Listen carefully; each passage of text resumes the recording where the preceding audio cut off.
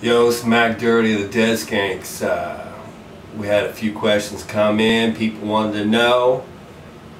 Hopefully I can answer them for you. First question. What are your past and present musical interests and how does that affect your rhyme style and DS?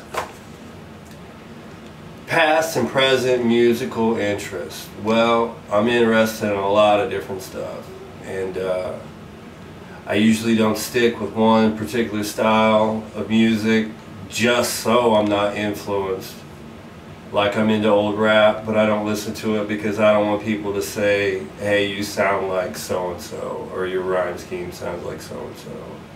I'm mainly into metal, and uh, that's basically all I'm into. That's all I'm interested in.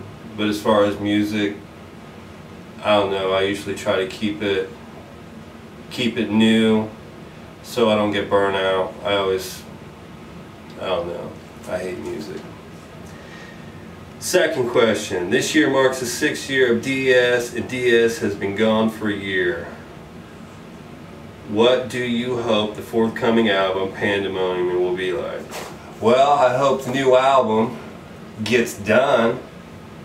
I also hope that it uh, satisfies Dead Skankz, you know, as artists, I hope uh, we can put everything into it that that we imagined it would be, which you know we always hear one thing, but always comes out of our mouth sounding totally different.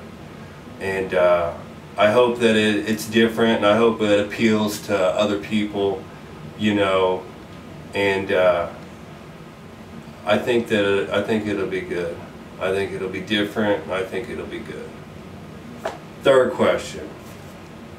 Rumors around the interweb, DS are not juggalos and don't want to be associated with the so-called whoop whoop kids.